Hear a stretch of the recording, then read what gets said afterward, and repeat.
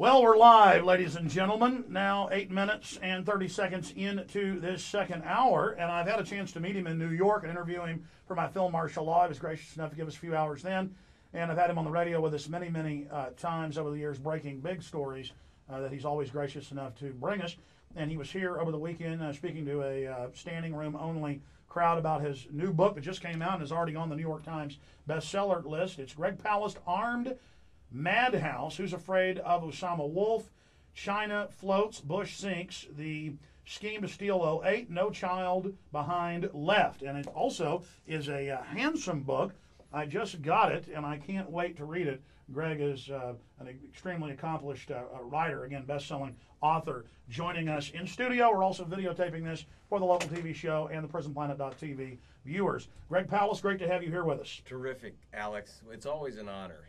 Really, I mean, you know, uh, my uh, my big shot publishers out of New York. I say I want to launch my book on the Alex Jones show, and they go, "What's Alex Jones?" You know, like they're in the New York towers. They don't understand what the people are listening to. So that's why even they are surprised that my book is a bestseller again.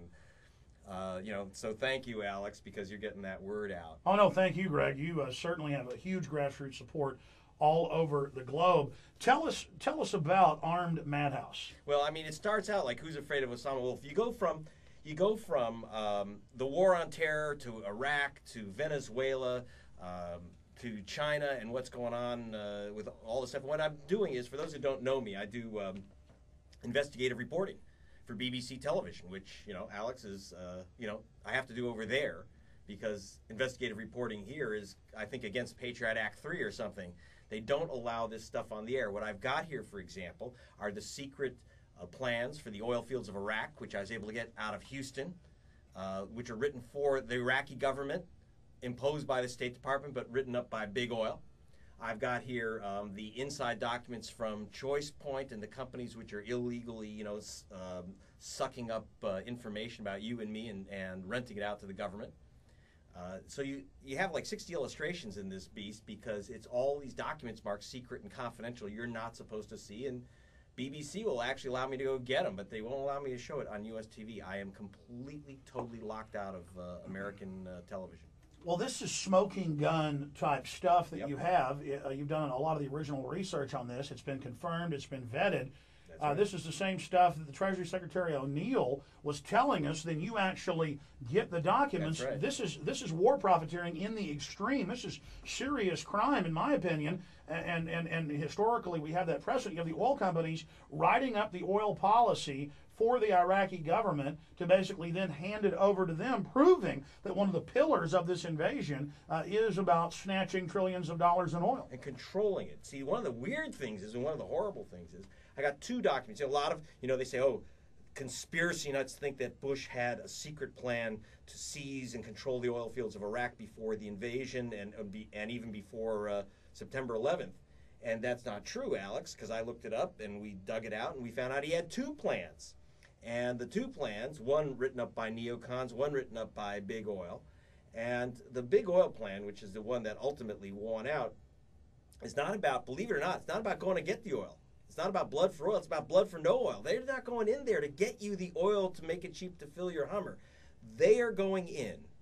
They're using the 82nd Airborne as uh, Exxon's exploration company, not to find oil and bring it back, but to find oil and turn off the spigots. You read, I had a 323 page document written by up by Big Oil and the James Baker III Institute, Council on Foreign Relations. I know that a lot of people say, oh, this is conspiracy stuff.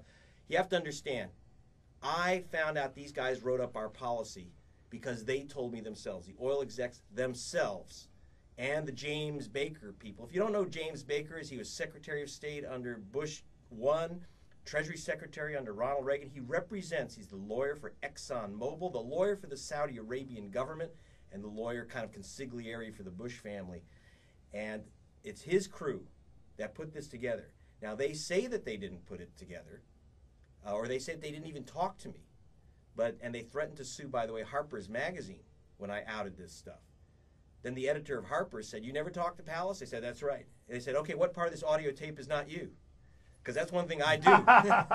now I was on on national uh, public radio, NPR, which are better called National Petroleum Radio, And they said, We don't do that. I said, I know that, but I have to. You know what? You talk to these guys, they lie. So they didn't know who they were talking to or why, and they let the stuff out. When I got the word about the oil companies drafting up the plans for Iraq's oil fields right out of Houston, even though it says Washington on it. First of all, they by the way, the United States government told me in writing, when I say me, BBC television, they told us in writing there is no such plan. Defense Department, State Department, White House, in writing, there is no plan for the Iraqi oil industry that we've written. Then I get the plan, 323 pages, marked State Department, not for public distribution, uh, not uh, you know confidential, the whole nine yards. And I got that by wiring up and talking to the oil execs who described it, and I was able to get my hands on it. But here's the evil thing of what's in it. Bad enough that you got oil company executives writing a policy attached to an Abrams tank. We got kids out there. We got now two kids being held hostage, one out of Houston, right? And believe me, the kid from Houston who's held hostage didn't have anything to do with writing up these oil plans. The oil plans are about they here's the phrase in it. You'll love this. The purpose is to quote enhance Iraq's relationship with OPEC. Guys, OPEC is the oil cartel, which is squeezing us by the pumps, destroying our economy, raising the price of oil to 70 bucks a barrel. That's 3 bucks a gallon at the pump. Enhance OPEC. And just so you know, when you talk about crime, Alex, you have to understand it is against the law for any American to participate in the oil cartel, in any cartel. Okay? Uh, King Abdullah gets away with having a cartel because uh, you know there's an exception to American law saying you know that apparently that you know dictators in bathrobes and crowns are not part of uh, they're, they're not subject to our laws on monopoly. Yeah, the foreign governments who have kings, they're allowed to have monopolies, but in the U.S., going back to 1906 and the Sherman Antitrust Act, you can't do that. That's right. In fact, there's something called the long arm of the Sherman Antitrust Act, which says that any monopoly anywhere, including OPEC, is against the U.S. law if any American is, is found helping out OPEC. Now, of course, the oil companies are, are cranking it in big time because of OPEC, and they pretend to have nothing to do with it. But now we have a document showing that the James Baker people and the oil companies that worked with them, like Pertamina out of in, in Indonesia, for example, was in on it, that these guys are in, they, they're using their own phrase that they're enhancing OPEC, that they're trying to maneuver Iraq to make sure that Iraq will never bust the Saudi Arabian production quotas. Saudi Arabia sets quotas. You can't produce more oil than, than 3 million barrels a day for Iraq. That's their absolute stone limit. Now, a lot of people I know think that George Bush screwed up in Iraq. You read these documents, you realize he hasn't because, you know, when he came into office, oil was 20 something a barrel, like cheaper than peanut butter. Today, it's 70 bucks a barrel. That's mission accomplished. You read this stuff, that was their mission. Mission accomplished. Greg, let me add something to what you just said because this is incredible. You know, obviously, I've read your last two books. I've uh, watched your Bush Family Fortunes video. It's excellent. But the things you're saying here, I mean, this is the documents. This is the evidence. You, have gotten IMF, World Bank documents in the past. I want to revisit some of that here, because because it ties in. But uh, the neocons get on talk radio and go, look, less oil is flowing out of Iraq. See, if we wanted the oil, it'd be flowing. No, no, no, no. It's called artificial scarcity. You got it. Ladies and gentlemen. And, and it's the same thing De Beers and the Oppenheimers do with diamonds.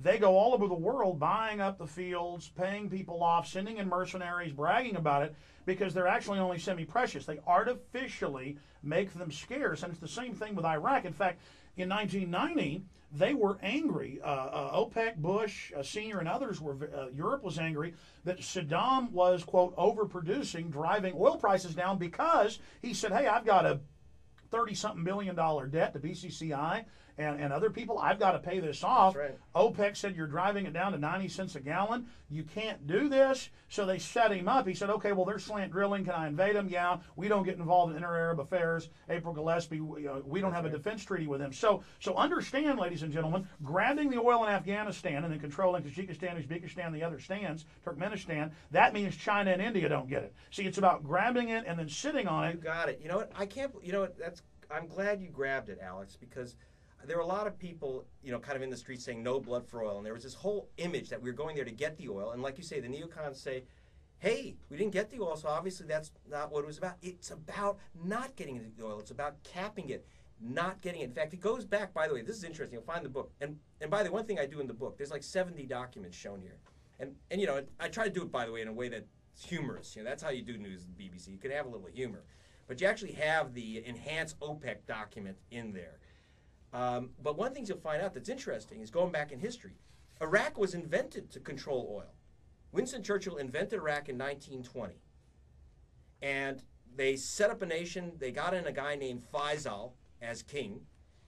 Winston Churchill took the Kirkuk fields, the Basra fields, and the tar sands of Baghdad, put the three fields together, called it Iraq, invited in a guy named Faisal from Saudi Arabia, said, You're king.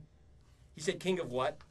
He said, Iraq. He said, where's Iraq? He said, It's a place in Baghdad. And Go." that's why the Saudis have always been our buzz, uh, buddies. It goes back to Lawrence of Arabia. They just went and picked a tribe, gave them a bunch of machine guns and grenades, and said, "You're the bosses there." and and we got you. And so what happened was is that Faisal then flipped around and gave a concession to a consortium, uh, to a consortium including Anglo-Persian, which is now BP, uh, Standard Oil now Exxon, the company that's now Total France and Royal Dutch Shell. Those four operators.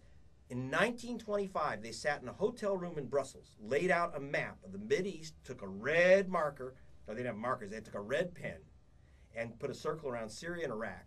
Every oil company executive in the room in 25 signed that on the red line on the big map and agreed never to pull oil out of Iraq. Greg Palast, this is riveting. Uh, we're going to come right back. He's got the documents. It's in the new book, Armed Madhouse. It's going to be a good one. Already on the New York Times bestseller list. Stay with us. Greg Palast in studio. Greg, this is incredible. You have the oil company documents Yep. where they're openly talking about stopping the flow. You expose peak oil as a big PR scam to make us think there's not enough oil uh, to again create the illusion of artificial scarcity. You've got it all in here. But before we get into that, uh, in, in 95 and 96, a bunch of documents were produced by the oil companies. In 2001, the Associated Press reported on it, and it came back out last year where they said we've got to buy up these hundreds of independent refineries in North America because there's too much oil. We can create an artificial bottleneck by buying them up. Then they blame the environmentalists and say, oh, it's all their fault. You know, it, it's they're the reason that all the refineries have been shut down when we have their own smoking gun documents. Greg, how do they get away with this? How they get away with it? Well, because they. Uh, you realize that ExxonMobil is the second largest lifetime career giver to George W. Bush and the Bush family uh, after Enron. Okay, I mean you have to understand uh, who's who's uh, you know who's bought the White House for these guys, and and you know look also you know you can't ignore the fact that these are the guys who shoplifted the White House.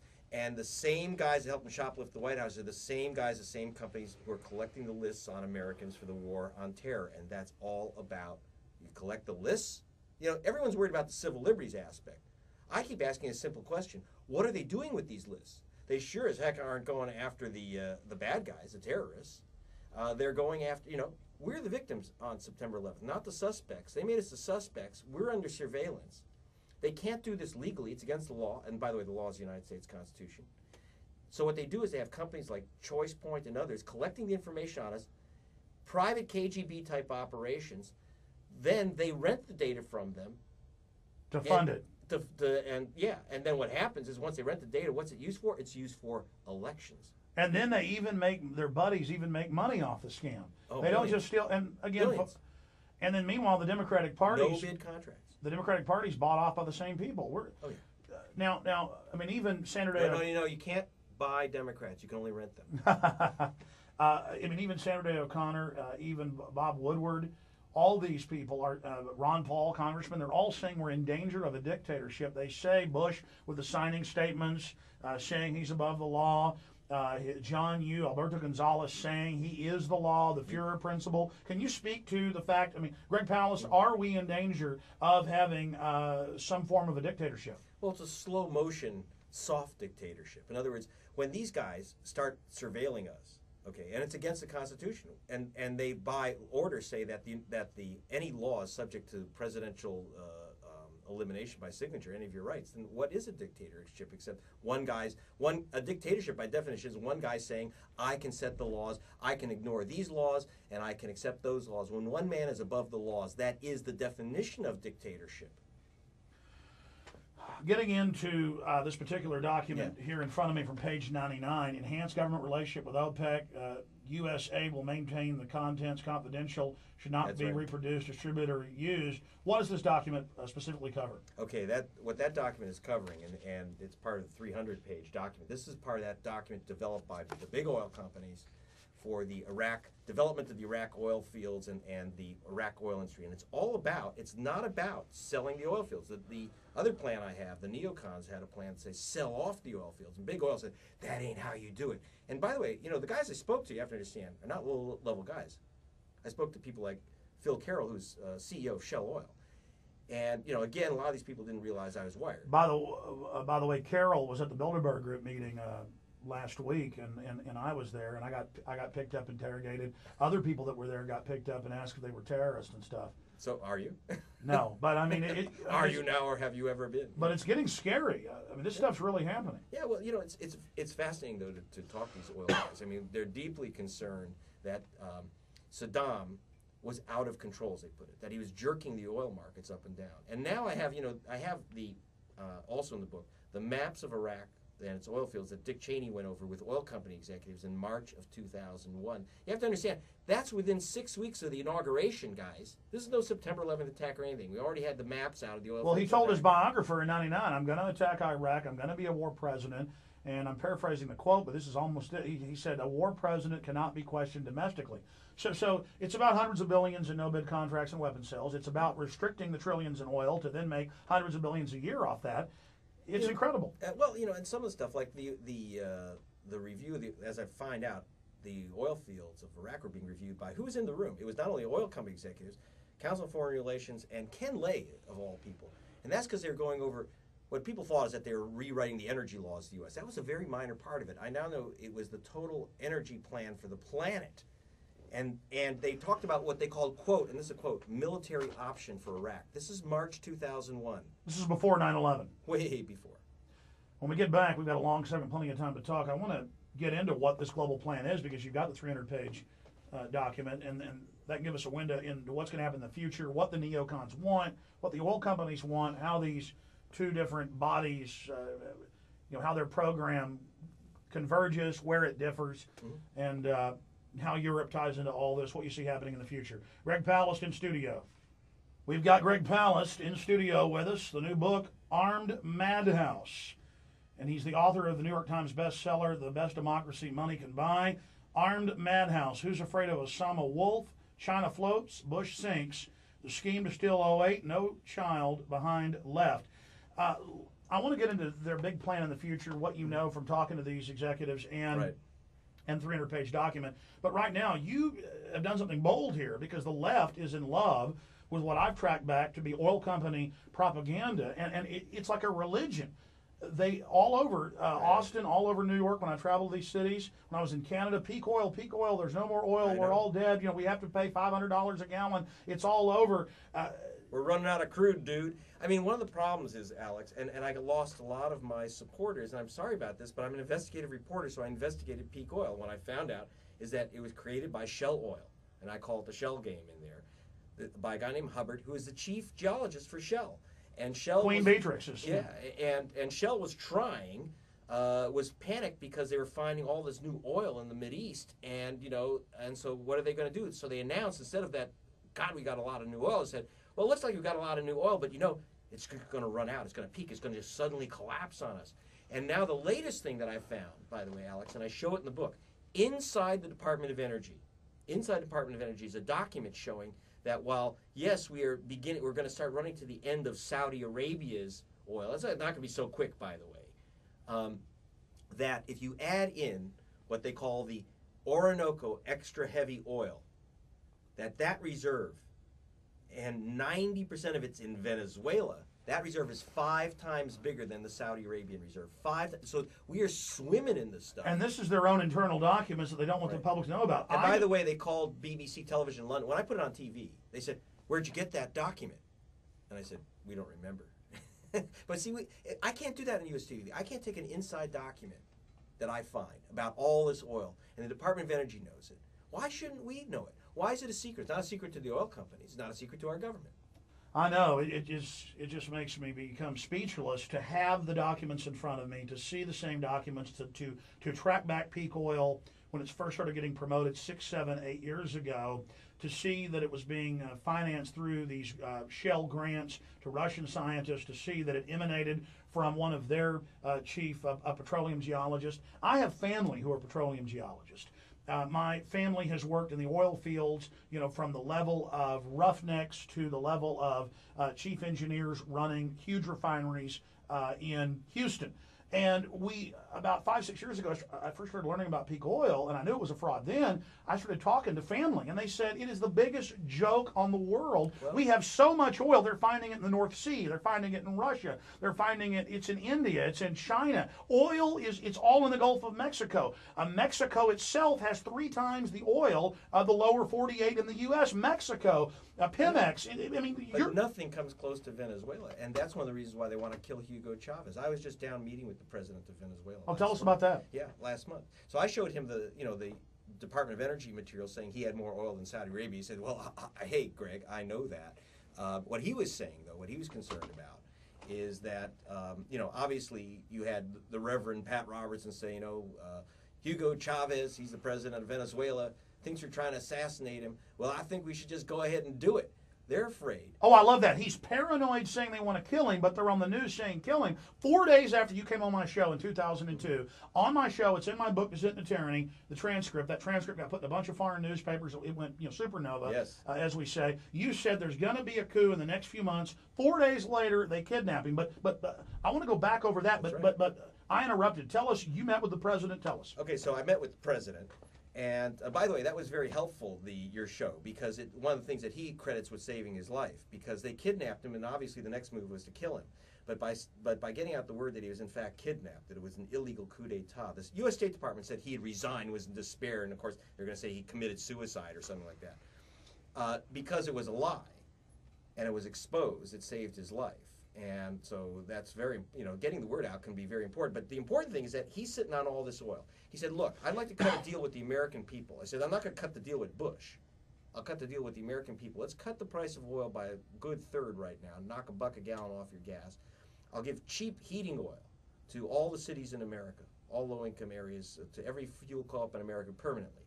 But one, we got to end the, the kind of Cold War that they're starting against Latin America. Uh, that's got to stop. The other is that he said you got to get rid of Saudi, in effect, get rid of Saudi control of OPEC, because you know OPEC is um, is has this game where they shoot the price of oil way way up through the ceiling. About every six eight years they dump it down to nothing to wipe out alternatives. And he says I can't operate in you know the, our nation's getting killed this way with the up and down. Stabilize the price of oil. We got plenty of oil for you. Let's work it out.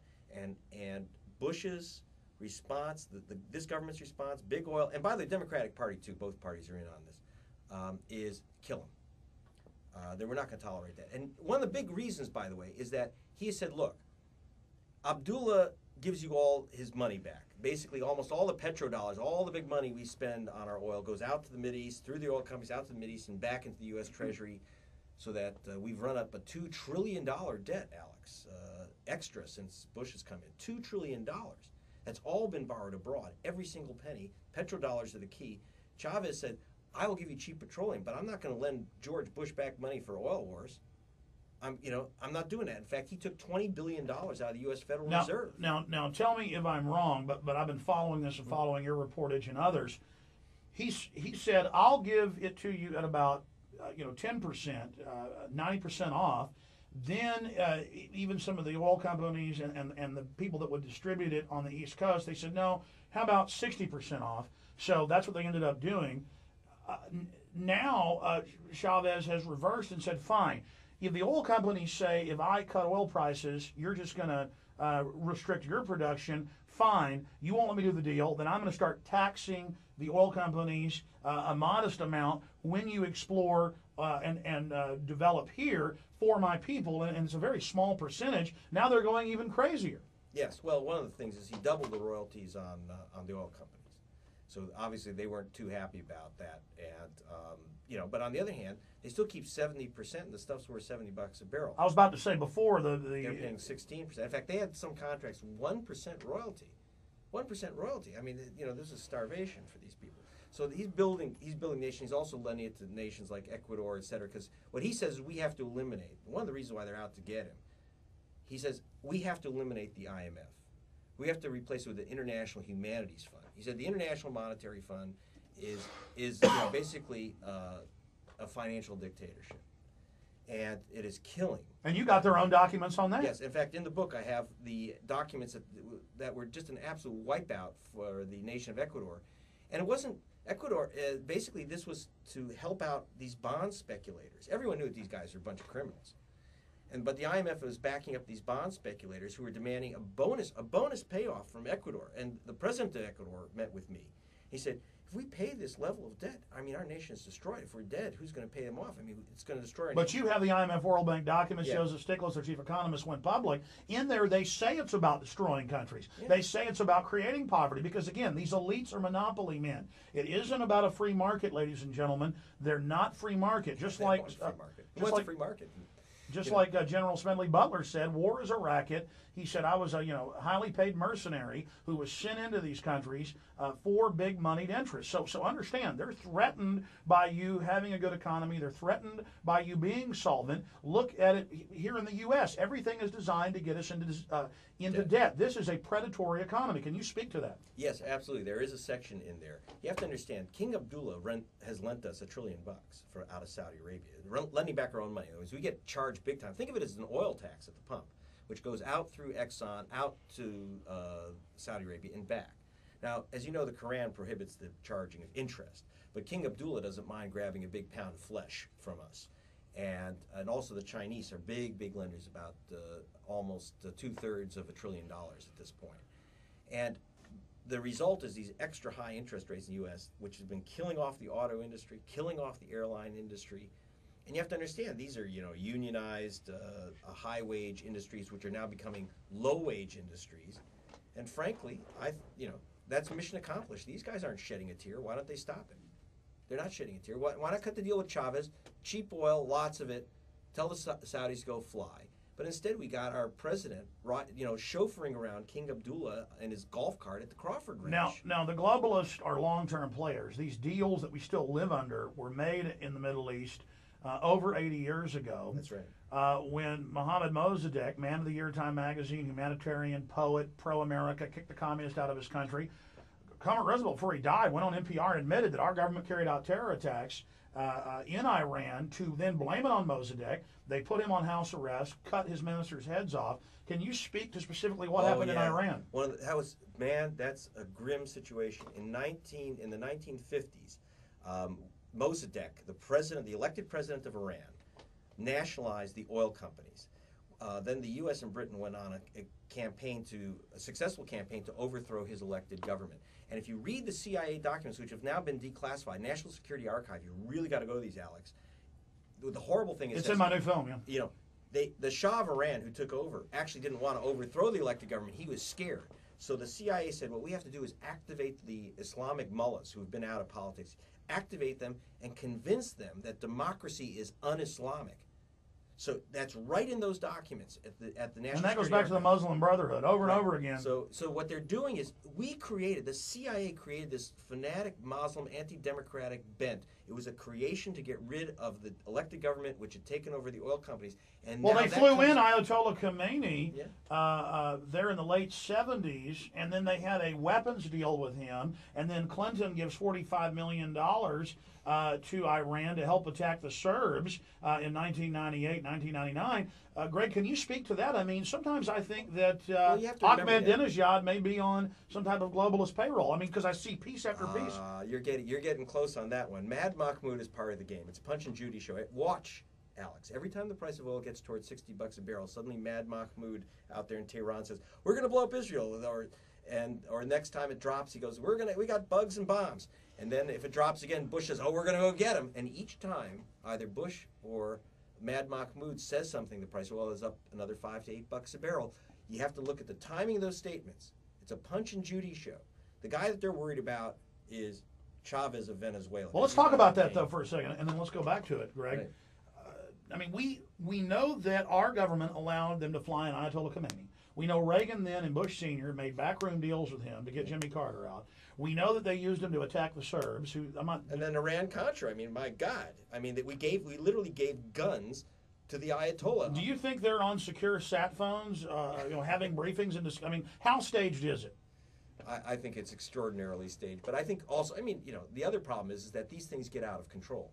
And we have to be very careful about it. This is really playing with fire. Just like when. Well, that's what the globalists do. That's what the Bushies do. They all they, they set people up. I know, but you know what the problem is, is that we created this fanatic Islamic politicized force, dangerous force, which wasn't there before. They had an elected government of Iran. We overthrew him because he grabbed the oil fields, and we empowered these maniac mullahs. Well, I mean, I, I actually looked the documents up, and I have Kermit Roosevelt's after action reports to 10 Downing Street, like they're his boss, and to uh, President Eisenhower.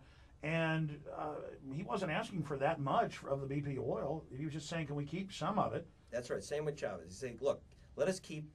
We want 30%, not 16%. And these 1% deals have got to go. Okay, so he, you know, and he said, that's that's the deal. You, you can't squeeze our nation. We can't be an oil colony forever. I mean, we there are people in card living, a million people living in cardboard shacks around Caracas. And so he charged the oil companies, and now you don't see those cardboard. Same thing, Mexico City, 30 something million people, half of them living in cardboard boxes, folks. I've seen it. And. I mean, that's And how they've these. got, they've got all this oil. And, and you know they got to keep some of it. The problem is, is that for the average American, what are we getting out of it? We're getting they squeeze the oil. We're paying high prices at the pump, high interest rates. Our manufacturing industries are are, are uh, going down the tube with this stuff. I mean, it is not for our benefit. So, so the economy is being looted. Uh, I want to specifically then talk about in the future. You've made really good predictions here. You said Chavez in the next month to two months. In fact, I've got the quote in my book. I can dig it out. Yeah. Uh, ju- just type uh, Greg Palast, Alex Jones, World Bank, IMF documents into Google. It'll come up. Uh, but uh, you said the next few months they're going to coup him. You were right. What are you predicting there? And then where, what do you see happening to George Bush and the neocon agenda? Is it going to stall? It looks like it's starting to stall, or does it have enough momentum to keep moving? Well, a couple things. I'm, I don't know if I'm good at prognosticating it. The information about the coup is because I had inside information about the coup. So I, I'm more investigative. And what we're finding now is that the neocons, yeah, are, bit, are in twilight right now because they, look, when they're trying to grab the assets of Iran, that was one thing. When they try to grab the oil fields without the permission of the oil companies and have their own scheme, they got slapped around big, big. So you big agree with some of the other inside experts we've got that there is a, uh starting, split. starting to be a split? Yeah, there's a split between big oil and the neocons. The, the big oil has a big long-term picture, and um, you know they're not big oil ain't talking about democracy in the Mid East. They're talking about controlling those oil fields and, as use their phrase, enhancing OPEC, making sure that no one busts the quotas. You know, I'm looking. Unfortunately, I would say the obvious thing for these guys to do is to assassinate the president of Venezuela. I mean, uh, you know, that's it, unfortunately that's an obvious thing for them to do. Uh, we are now in a virtual Cold War with all of Latin America. And, And there's troops in a whole bunch of countries down This this is a very dangerous business right now. You know, everyone's looking to the Mid East. Get ready, guys. The big Cold War, the big, and we're going to see. You know, we're not going to we're not going to move in with the 82nd Airborne because those people will shoot back. It's not going to be like you know like like fun and games like uh, Desert Storm. Uh, so that's not going to happen. But it's all going to be through puppet uh, coup d'état action, and you know we cannot let a guy with with bigger reserves than Saudi Arabia start cutting deals that don't involve the oil companies. I mean, um, you know, this is uh, you know he's threatening he's threatening Saudi hegemony of OPEC. He's threatening. Uh, And now he's got his own uh, type of uh, coalition or alliance down there. These countries getting together. So, so what's the time frame? I don't know because you know obviously the, the big oil guys I didn't get enough information from them. I mean I could only have so much access. But we know they're I got it. increasing troop levels right now. Yeah, I mean I'm I'm hoping that you know uh, that one thing big oil does not like is too much turmoil unless they've set it off. And you know, but again, playing with fire. You know, once you set up, once you start playing games with uh, with the Iranians, it can't get out of control. These guys, I don't see how they can control these fires that they set. But hasn't Big Oil set Bushes and them up kind of their wind-up toys to take the fall later? I mean, they do that a lot. I mean, it is James Baker and Daddy and all them. Yeah, yeah. Well, I think that, that little George is, is going to. They're going to load all the negatives on him. The, the the war, everything else. The war is going the way that they want it. Oil's at seventy bucks a barrel, but someone's got to take a fall. Well, they call it the strategy of balkanization out of an Israeli document, 1983, Pentagon documents, 2002. They say they want it broken into three or four parts. Now I hear NPR announcing this like it's some new strategy. Oh, we could break it up in pieces. They wanted sectarian division. They don't want any sovereign nations. Well, Well, in fact, when I talked to General Jay Garner, as you'll see in the book, General Jay was our was our first viceroy that we put in charge, Alex. And uh, in, in Armed Madhouse, I actually met with him, and uh, you know he was saying we could have had peace between these factions, but obviously they didn't want it. No, they didn't. Greg Palast, stay there. We'll be right back after this quick break. We will uh, continue. There's so much in this book. I haven't read it yet, but just scanning over it, I think this. You'll enjoy it. You'll get a kick. I think this blows. Uh, I mean, just from looking at it, the the spectrum of data in it. I think this blows best democracy money can buy away. It does. It does. That's Yeah. from the author. We'll be right back. Uh, Greg, looking at this, there's so many things that you've Right. done in this book that really impressed me. I've been scanning over it during the breaks. You tackle peak oil. I want to spend a few minutes getting into that because don't liberals out there or progressives or conservatives don't we all just want the truth? Don't we want to know the truth? Not some lie that we've accepted as the truth becomes some religious orthodoxy. Peak oil is a scam, is a fraud, is a hoax, and I'm sick of it. Can you specifically, as we end this hour, speak to the evidence, the chapter in the book on this, and how now some of your some of your grassroots people uh, are now mad at you? Hey, folks, Greg doesn't lie to you; he does the research. I'm kind of stuck, you know. I mean, I, I went into the peak oil situation just to see what that was about, and what I found is that, you know, it was basically put together by Shell Oil to convince us, number one, that oil is scarce, so it's got to be much more expensive. Because remember, that when they came out with peak oil, there it was already down to a nickel a gallon and dropping.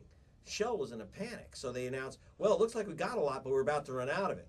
Uh, the second is to convince you that we need to secure the supply. You mean raw oil- crude? You- you mean- right. Raw crude was a nickel a gallon. Sorry, start over. Yeah, but the gasoline is not. But this is 1956. Exactly. And uh, and and that we have to protect our.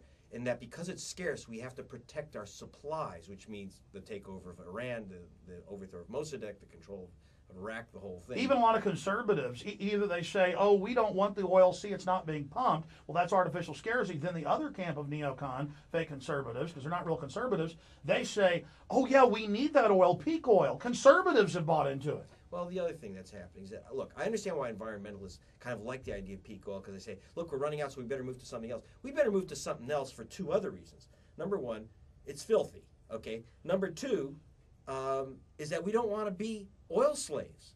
We don't need to be oil This is a monopoly run by monopoly men, and it gives Yeah. incredible power to these cartels. But but, but Greg, Yeah. when you go to these, you know, But I can't. But I. But the problem is, I would don't. Yeah, I don't want to be an oil slave. I don't want to be sucking soot and have my kids suck soot.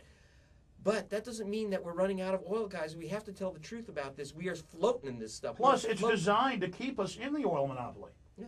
And then transfer all of our wealth, using it as the only world currency, using oil as a world currency, forcing us to use that world currency, and then jacking up the prices so more and more of our economy goes into funding these guys, which then they put back into the till to get even more control.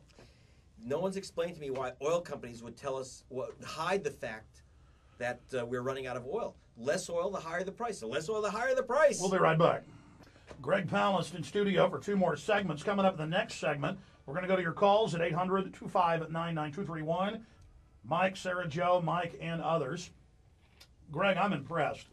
I mean, just flipping through your new book, Armed Madhouse, uh, it is it, it is really impressive. And, I, and I, I can tell you right now, I do want to carry this. I mean, just for the peak oil chapter alone, you've got the documents on the oil companies. Let's shift gears to what George Bush and his handlers really are.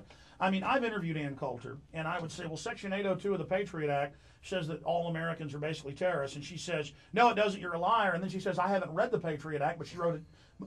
But she Yeah, wrote right. several chapters in a book about it. And I mean, literally, I mean, I have congressmen, senators, Nobel Prize winners on, the best journalist. I mean, I, I don't consider myself to be real smart, but I have a lot of smart people on, so I'm pretty informed. She was one of the stupidest people I've ever talked to. Yeah, and, and they she- talked about how smart she was and all this. And then she attacks the widows of 9 11 just to get publicity. And, and, and, and she looks like this ring wraith type type creature. And again, it's not about Ann Coulter, folks. It's about the fact that Time Magazine, everybody promotes her. Why are they promoting this monster who has said stuff like, we need to kill more innocent Iraqis? Uh, well, it's more fun and games and distraction, Alex. Look, when Greg Palast goes on BBC television and says, here's the inside documents from the oil industry for Iraq, when I show you the, the documents on the theft of the election, when I show you the, the documents from uh, inside the, uh, the Homeland Security uh, operations, well, you, that's what you have on, on the world TV, but in the United States, you've got Ann Coulter uh, talking about uh, godless uh, terrorists that were killed by the terrorists, you know. I mean, so, you know, So what happens is fun and games and distraction. It's info distraction. So she's meant to be over the top. She's a carnival barker. Yeah. No, she's part of the game. She's you know they you know they uh, she's part you know she's total distraction. You know she's total distraction. Well, I never really talk about her. It's just that I read the, it's all lies. And, and, and I mean, at the same time, there's a lot of horrible stuff liberals are doing, their establishment. I'm not a liberal, folks. I'm a paleo conservative. I mean, I'm a constitutionalist. But by any yardstick, Bush has spent more money than all presidents combined. He's doubled the size of the BATF, signed back onto UN treaties, done all these, he's for totally open borders. Uh, he constantly lies, and still, so called conservatives worship him and worship Ann Coulter, who's a low grade moron. Well, I mean, what she is is, is she is a front person for uh, the control regime. Words, What she is selling us is the whole. She's bringing back the whole fear agenda. That's what they are. These are fear salesmen. That's what they're trying to sell you. Be afraid. You know, uh, that's what they want you to do. Well, I am afraid of the government, not them. Yeah, but you know, it's like that's why I call the first chapter "Who's Afraid of Osama Wolf." It's a game. Okay, they got a guy in a cave who's out to get you. Well, we have Buzzy Krongard, who was executive director of the CIA, telling the Times of London, "Oh, we know where he is, but we don't want him." Did you see that? Well, you know, uh, look, Clinton turned him down when they had him cornered in Khartoum. Uh, you know, you have to remember that. Um, you know, once again, they sell the the guy that's holding all our lists is uh, this guy Derek Smith, who's chairman of uh, Choice Point Corporation. By the way, he's now under investigation for insider trading. For uh, you know failing to tell uh, his stockholders that his company had given out the 145,000 uh, personal files to to um, identity thieves, a ring of identity thieves. These are really nice guys, right? So what's happened is, is that he said, you know, if we only had these lists of Americans and your DNA too, we could have gotten the hijackers when they came to the airports to check in. Well, guys, you know what? Hijackers no longer use their names, even if they lose their frequent flyer miles. I mean, it's unbelievable. He said, well, you know, they use their real names, and if we only had the big databases, we could have got them. You know, it's just Well, number like- one, they had those databases to begin with, so we know the NSA picked it all up. Bush spiked it with W1999. That's in BBC News, and still people are in denial, even when FBI agents go public saying, I was ordered not to stop these people. We have FBI agents on the record saying it, and I've got neocon talk show hosts going, Alex Jones manufactured all this. Do you ever get tired of having the actual admissions and documents, and then they're saying it doesn't matter, it doesn't exist? I know. They say, well, your unprovable conspiracy theories. I say it's the facts and documents we put on BBC television. My God, it's the uh, most number one stature network on the planet. What do you want from me? They still won't put it on. They, they keep the New York Times said conspiracy material. What do I, you know? Well, the, well, the New York Times tells conspiracies about aluminum tubes and yellow cake.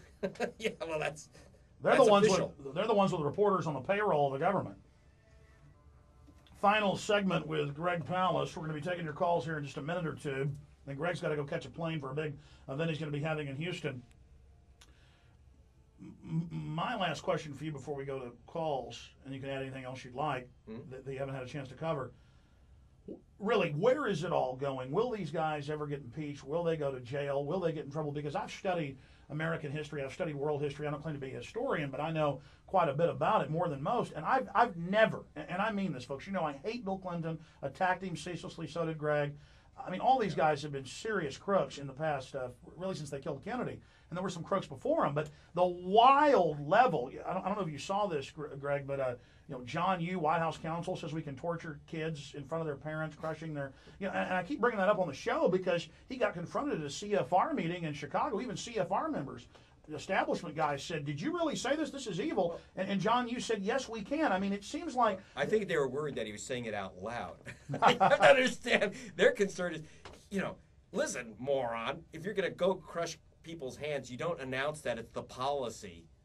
You know, I mean, these guys are like amateur torturers. But I mean, kids. Uh, his White House memo was we can torture children in front of their parents, including. I don't want to say it again. The point is, is that that is Mengele stuff out in the open. That that does scare me at a certain level. It it, it, shocks me that it's so over the top.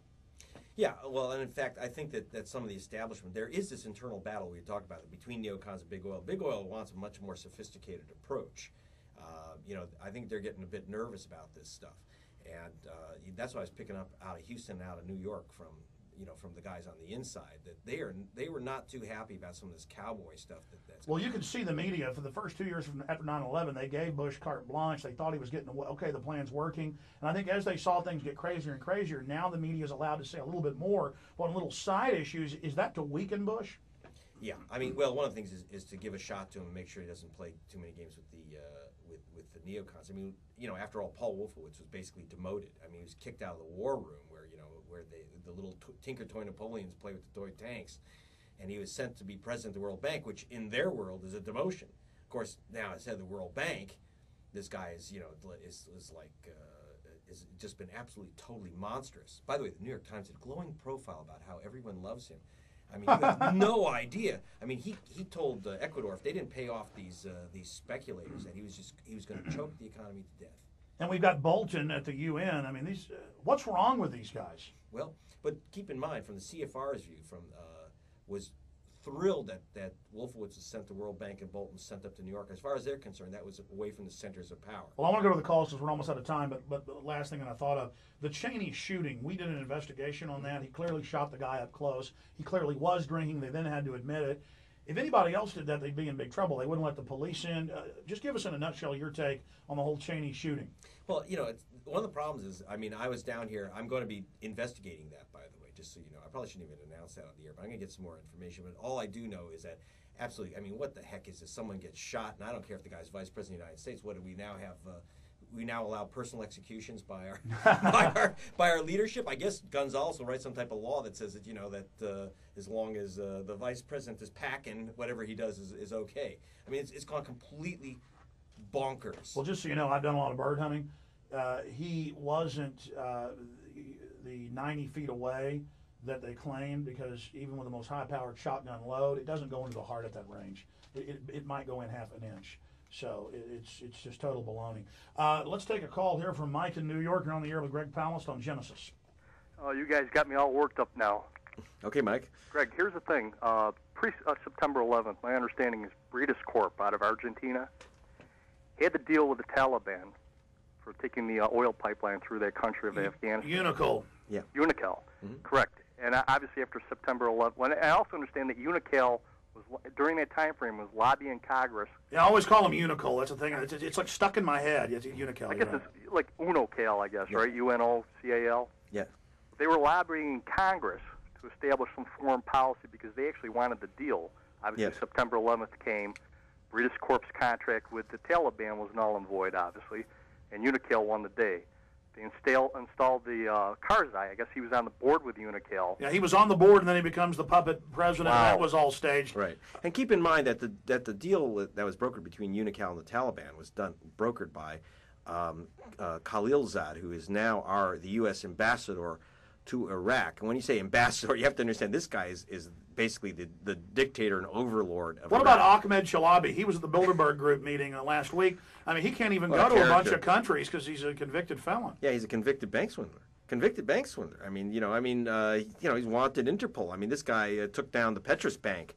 Uh, also, the when Chalabi, uh, that we installed, uh, named himself oil minister in, in Iraq.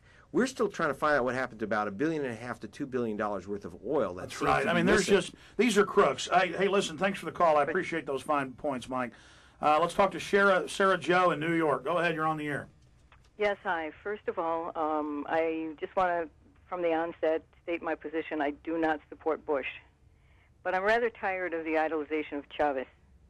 Um, anyone who's against Bush seems to be admired, and um, Chavez is not to be admired. I know you supposedly had a meeting, or you had a meeting with him and all. But um, I lived in Venezuela for many years. I have friends and family in Venezuela, uh, even as we speak. The place is a mess.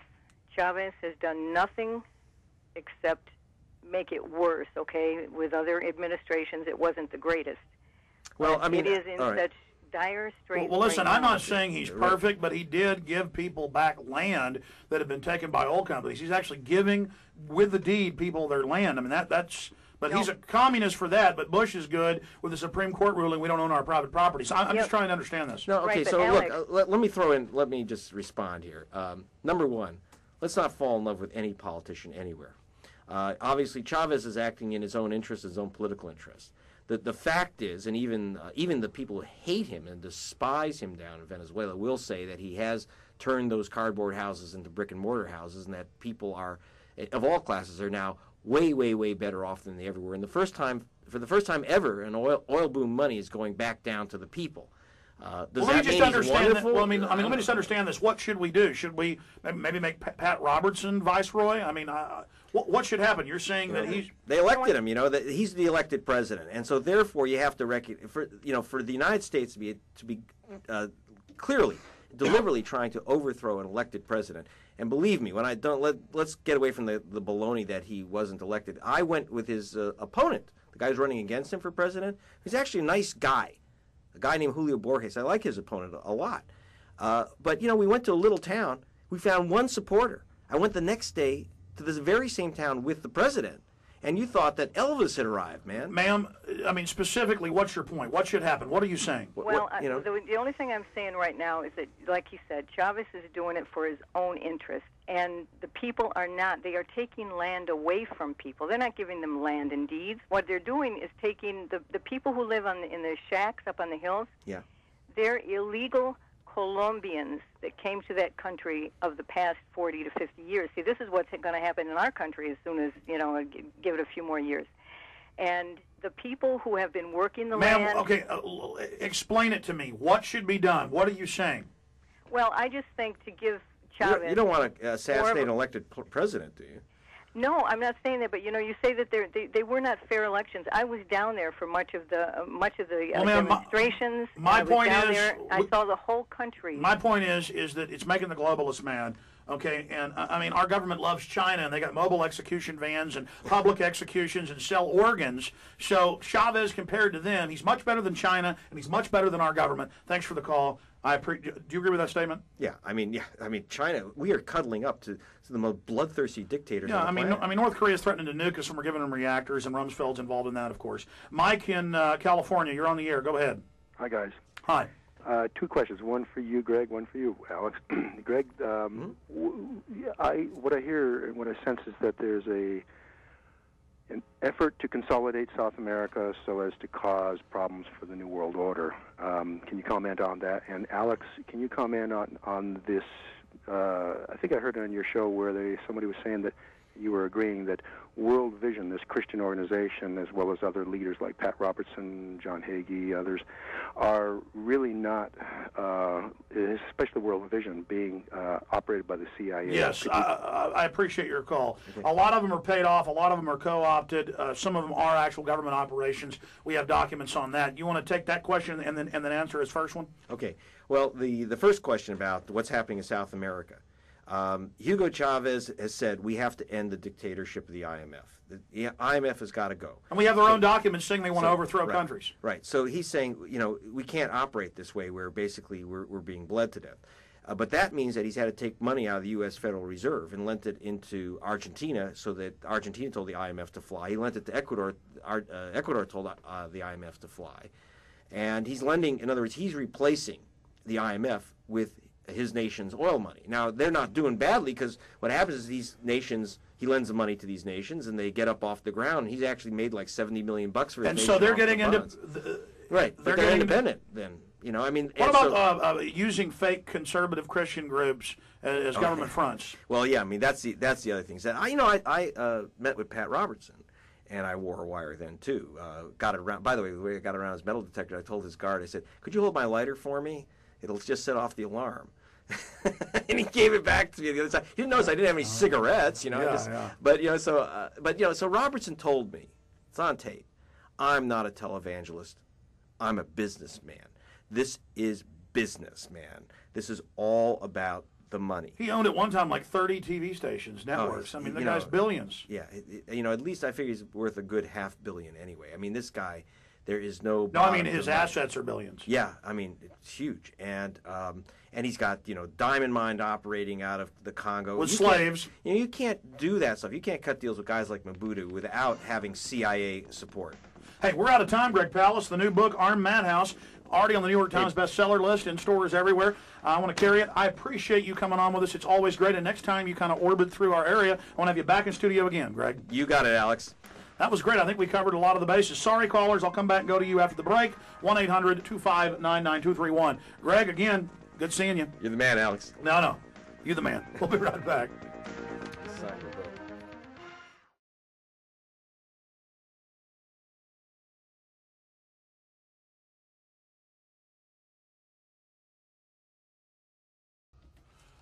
Well, we're live, ladies and gentlemen. Now, eight minutes and 30 seconds into this second hour, and I've had a chance to meet him in New York and interview him for my film Martial Law. He was gracious enough to give us a few hours then and I've had him on the radio with us many, many uh, times over the years, breaking big stories uh, that he's always gracious enough to bring us.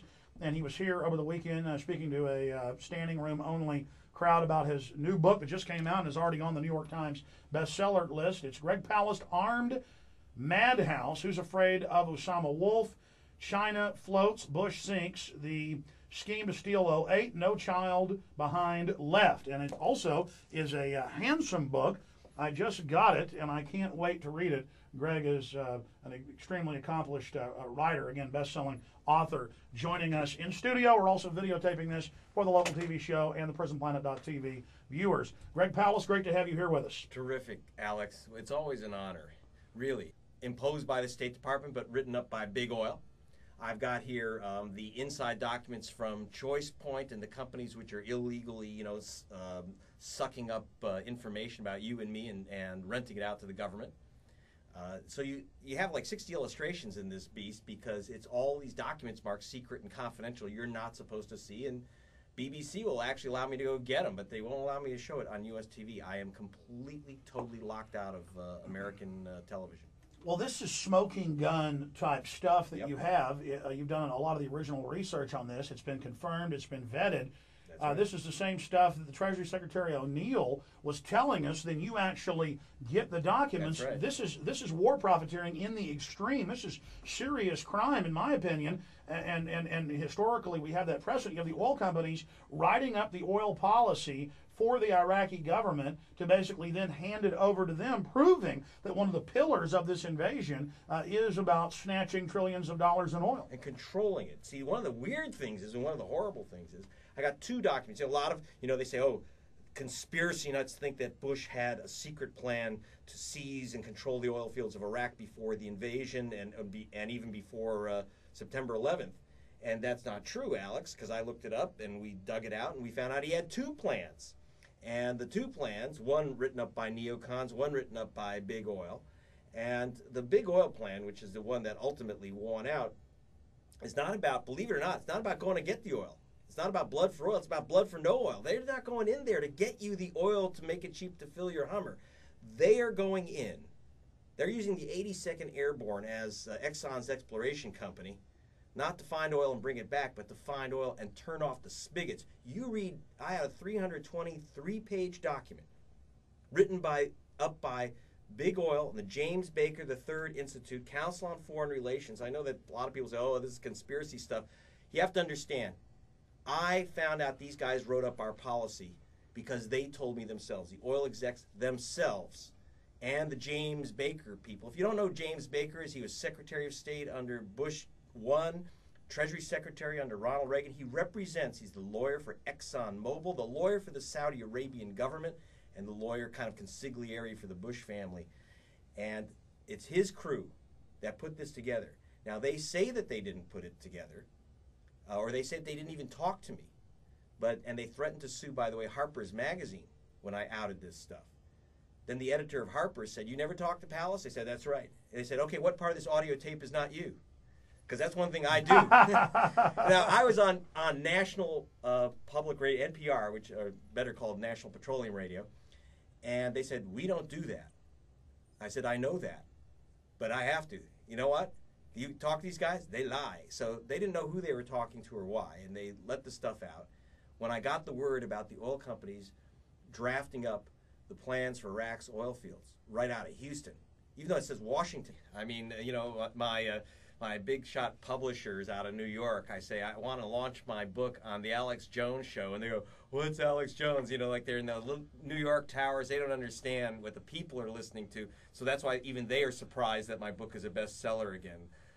Uh, you know, so thank you, Alex, because you're getting that word out. Oh no, thank you, Greg. You uh, certainly have a huge grassroots support all over the globe. Tell us, tell us about Armed Madhouse. Well, I mean, it starts out like who's afraid of Osama Wolf. You go from you go from um, the war on terror to Iraq to Venezuela um, to China and what's going on uh, with all this stuff. What I'm doing is, for those who don't know me, I do um, investigative reporting for BBC television, which you know Alex is uh, you know I have to do over there because investigative reporting here is I think against Patriot Act three or something.